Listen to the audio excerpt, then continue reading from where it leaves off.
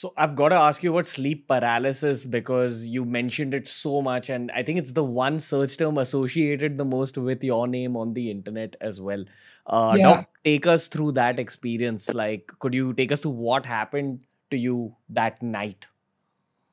that night. Well, it was actually an early morning, so I was uh, straight out of high school. I might have just graduated high school or something, and I was lying in my bed, and uh, I was just lying there, and I realized I was just sleeping pretty much silently, and then I realized, my God, I'm actually awake.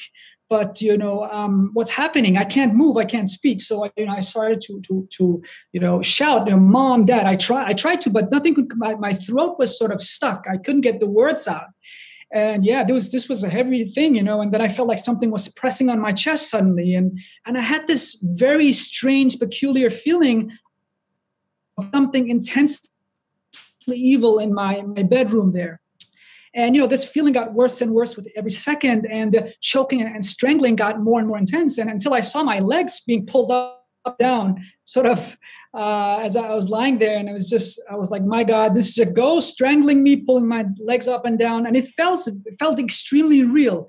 Like it felt as real as this conversation that you and I are having. So there was no question for me. Like I had an encounter, a, encountered a ghost here, you know.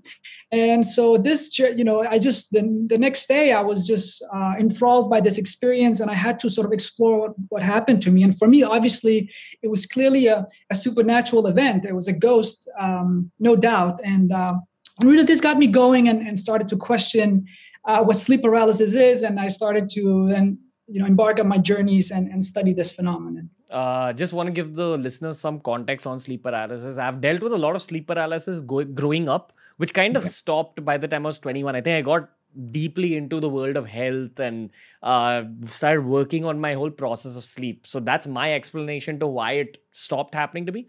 But right up Mm. to the age of 20, 21, I'd get like sleep paralysis episodes very often, Oh, including wow. one I've spoken about on this show where it happened when I was 11 and I Mm. felt this woman sitting on top of me, choking me. I'm not able to move. My mum was sleeping next to me, so I couldn't even like reach out. I couldn't scream out at her. Uh, I Mm. was just like kind of stuck in fear. And then Yeah. eventually that experience faded away. Mm. Uh, and I went back to sleep. But I've had these experiences growing up where I, I won't be able to move. I'll see someone in my room. And I think a Yeah, lot of people deal with sleep paralysis in general. So, sir, yeah, my question to you is if you had to explain sleep paralysis to a five year old, but from a scientific perspective in terms of what happens in the brain. Very good. So let me first explain. Uh, so I'll explain to you what sleep paralysis is in terms of the paralysis first, and then let's explore the dream world a bit because it's sort of related, right? So sleep paralysis emerges from one of the stages of sleep called REM sleep. So each night we go through several stages of sleep, and one of these stages is called REM sleep, rapid eye movement sleep. So you're lying there, and your body pretty much is paralyzed. So there's a part of the lower part of the brain. There are certain chemicals there that paralyzes your entire body. Okay, so you have that, and the reason you have that paralysis of your entire body is because your brain is clever.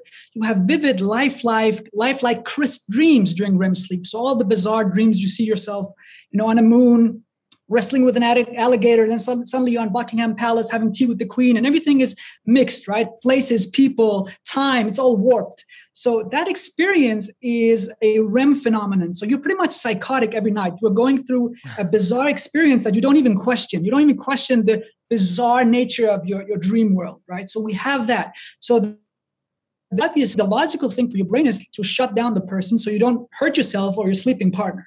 So that's why you are paralyzed during r- rapid eye movement sleep, during REM sleep, this stage of sleep, right? But occasionally, the um, perceptual part of the brain, you know, the part of the brain that has to do with perceptual awakening, you know, waking up and being mentally active, that can start becoming active even though you are paralyzed. In other words, this tells us, Ranveer, that in the brain there are two systems. There's a system for paralysis, lower part of the brain, and then there's a system for perceptual activity, mental awareness. Okay, and when these two systems go awry or decouple from each other, so one system is on, the other is off, or whatever, you get this, you know, this this uh, this synchrony. It's almost like in the brain there's a switch an on and off switch. And when you click it, your brain paralyzes you and you start, you know, and, and if that on and off, off switch sort of gets stuck in between on and off, you sort of gets you get this synchrony where you are mentally awake, but your body's still paralyzed. So this is uh, the sleep paralysis experience. And of course, we know that from, from science that um, you know animals can have sleep paralysis, like you know rats, cats, and stuff like this. So they have REM sleep, and so they can be paralyzed as well. So this is the basic phenomenology, the basic experience of sleep paralysis. Uh, you know, but of, occasionally, of course, you can have these striking hallucinations. So, so, so basically, I just want to make this clear. You can have this basic paralysis and just being like, "Oh my God, I'm awake. I can't move. You know, this is terrifying," and that's it. But then occasionally, about 40% of the time, people will report striking hallucinations of like ghosts like intruders, or as you mentioned, you, you, you, saw a person, or I've even seen a copy of myself floating around. And the conversation is usually who's the real Baland, you know, the, co- the person floating above or the person down there. You know, that there's a the debate going on. Uh, so you can have all that. And we have theories for why that your brain would, you know, create these striking hallucinations. And so this is the basic uh, experience of sleep paralysis, right? So the paralysis and then the hallucinations. And the hallucination parts is much more mysterious and uh, elusive.